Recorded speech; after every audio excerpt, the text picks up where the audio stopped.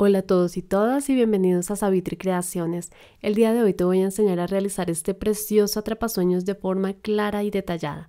Si aún no te has suscrito, te invito a suscribirte y a hacer clic en la campanita de notificaciones para no perderte los próximos videos. Así que iniciemos.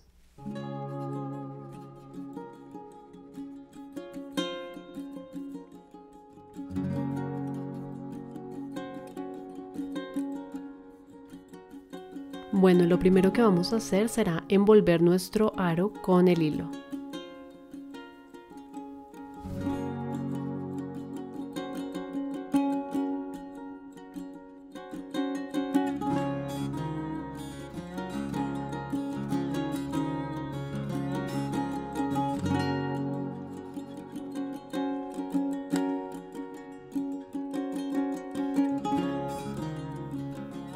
Vamos a seguir de esta manera hasta terminar de envolver el aro. Listo, una vez terminado este proceso lo que vas a hacer es que vas a tomar una hoja de papel del tamaño del aro y vas a hacer tres pliegues. Con esto lo que vamos a hacer es que vamos a marcar las divisiones.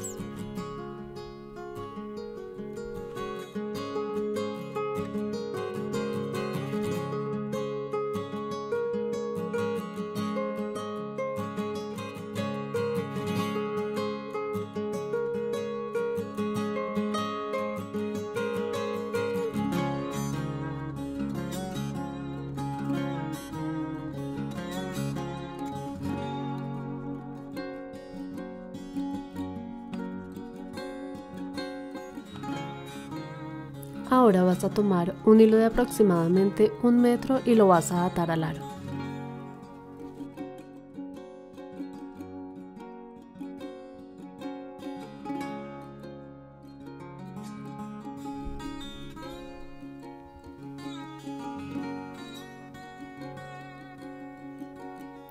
Vas a enhebrar con una aguja punta roma normal y con este hilo vamos a dar inicio a la primera parte de nuestro atrapasueños.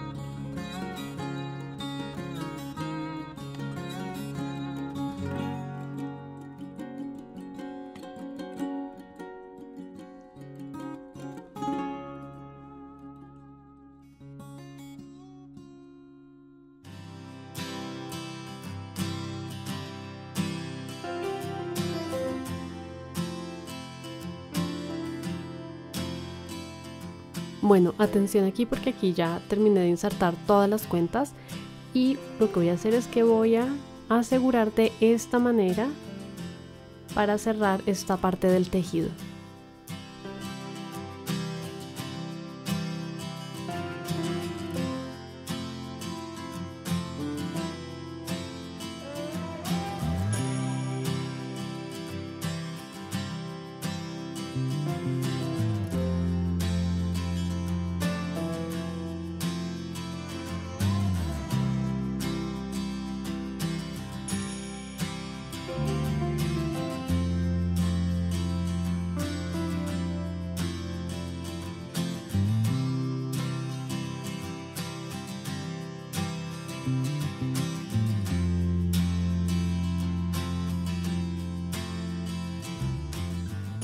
Bueno, para evitar que el nudo se desbarate, lo que vamos a hacer es que vamos a quemar la punta de manera muy cuidadosa con la parte azul de la llama.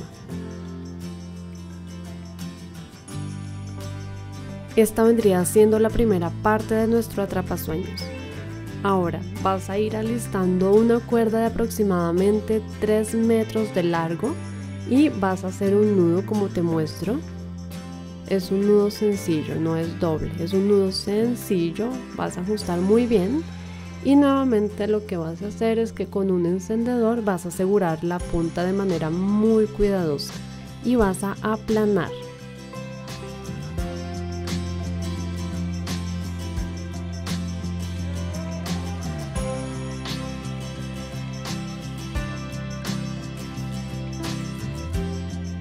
Bueno, nuevamente vas a enhebrar la aguja y aquí vamos a dar inicio a la parte principal del tejido. Te sugiero que por favor veas los próximos minutos porque van a haber unas pequeñas variaciones.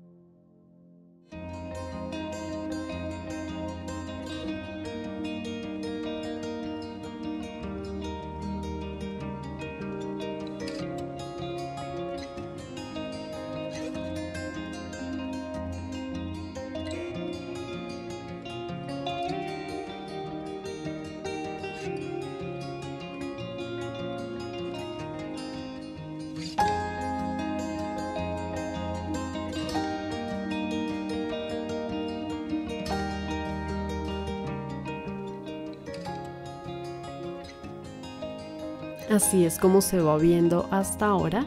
Vamos a seguir de esta manera hasta finalizar esta primera ronda.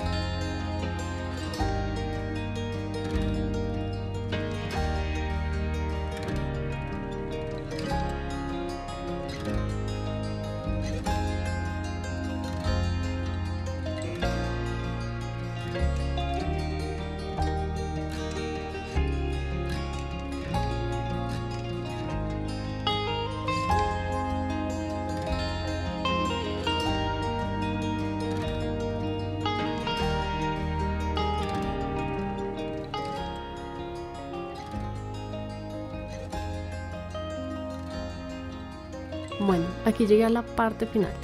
Y lo que voy a hacer es que básicamente voy a seguir haciendo exactamente lo mismo que venía haciendo. Entonces, prosigo de esta manera.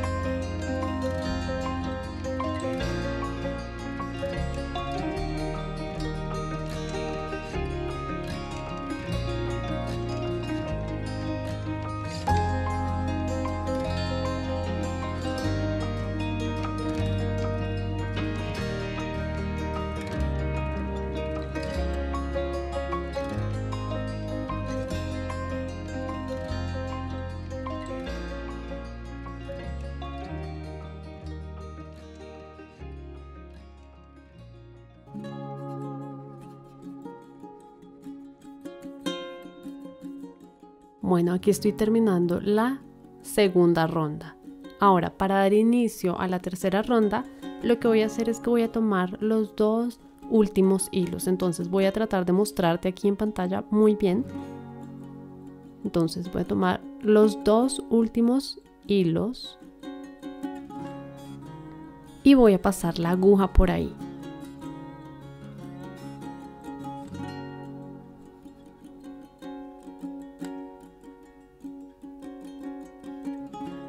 Entonces, a partir de este momento voy a proseguir así, tomando solamente los dos últimos hilos, como te estoy mostrando aquí en pantalla.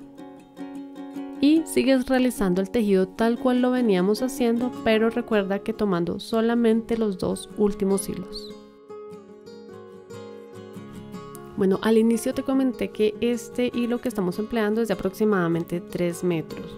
Esto es porque esto facilita muchísimo el trabajo. Es decir, si tú quisieras hacer este tejido pero sin añadir absolutamente nada, el hilo mediría aproximadamente 6 o 7 metros para esta medida de aro. Pero entonces eh, esta forma en que lo estoy realizando me parece muchísimo más sencilla y va a llegar un punto en donde vamos a necesitar hacer una pequeña añadidura. Más adelante te voy a mostrar cómo se hace. Pero de verdad que te sugiero realizarlo de esta manera, va a ser mucho más sencillo para ti. Bueno, Aquí ya se me está agotando el hilo, así que en este punto será el punto en el que voy a hacer la añadidura. Así que voy a hacer un nudo adicional aquí. Este será un nudo sencillo.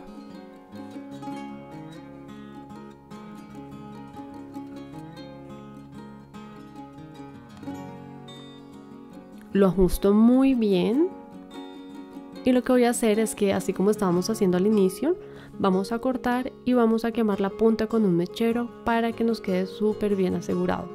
Si es la primera vez que haces esto, te sugiero que le agregues un poquito de pegante, pues para mayor seguridad. Sé muy cuidadoso al realizar esta parte ya que la idea es que quede muy bien disimulado. Aplasta, aplastar es importante. Bueno, ahora al otro lado lo que voy a hacer es que voy a atar mi otro hilo que mide 3 metros para continuar el resto del tejido.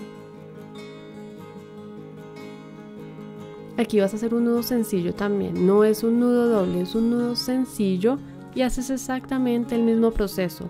Cortas, quemas con la llama del mechero y aplanas muy bien. La idea es que quede muy bien disimulado y recuerda que le puedes aplicar el poquitico de pegante de tal manera que quede súper bien asegurado.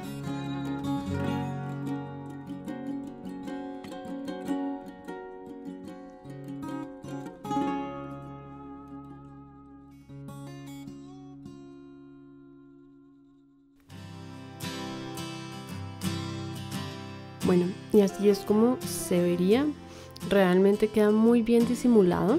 Si lo haces con mucho cuidado no se va a notar para nada. Entonces aquí lo que vamos a hacer es que vamos a continuar nuestro tejido con los otros 3 metros para facilitar el trabajo y no tener que estar pasando un hilo como de 7 metros.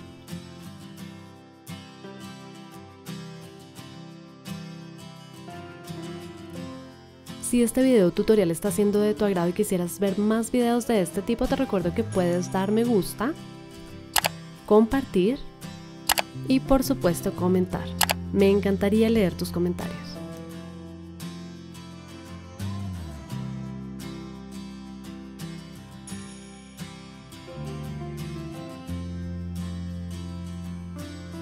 Bueno, aquí seguimos avanzando como lo veníamos haciendo. La idea es que vas a continuar realizando este tipo de tejido hasta un punto en que ya no vas a poder avanzar.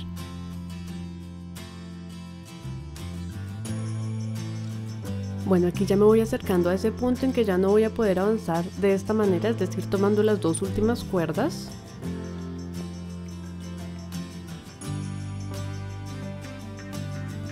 Así que me voy a detener aquí y vamos a hacer una pequeña variación. Ahora, vamos a continuar el tejido tomando solamente la última cuerda. Es decir, ya no son dos, ahora es una, la última cuerda la que tomaremos para continuar el tejido.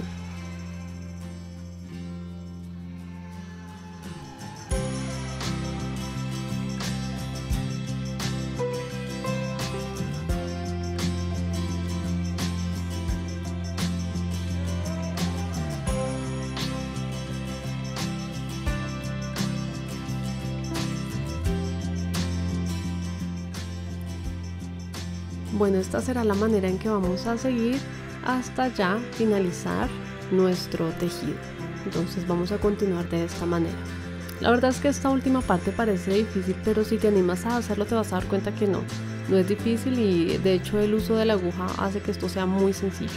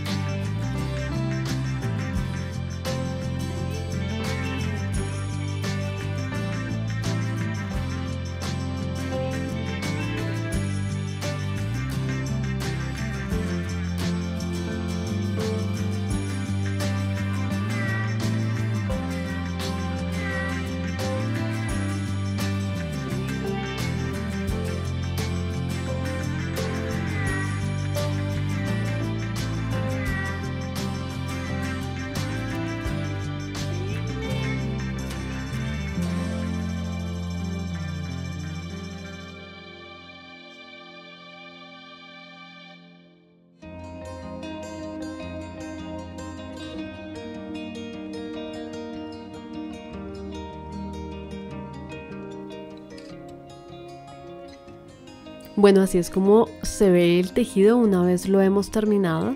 La verdad es que se ve precioso, a mí me encanta. Si tú ya terminaste el tuyo, déjame saber en los comentarios cómo te pareció pues este proceso de realizarlo. Bueno, al inicio del video en materiales les coloqué alambre. ¿Por qué? Porque el aro pequeño lo realicé con este material. Entonces, para que sepas que también podemos realizar los aros de este material, no es tan difícil. Bueno, ya que tenemos las dos piezas, las vamos a conectar con un hilo de aproximadamente unos 5 centímetros. Y así es como se ve, ya estamos llegando al punto final de nuestro atrapasueños. Enseguida lo que haremos será alistar nuestras plumas, nuestras cuentas, pues todo el material con que queramos decorarlo. Yo aquí ya le coloqué un par de plumillas, voy a proseguir con este proceso y ya les muestro cómo se ve.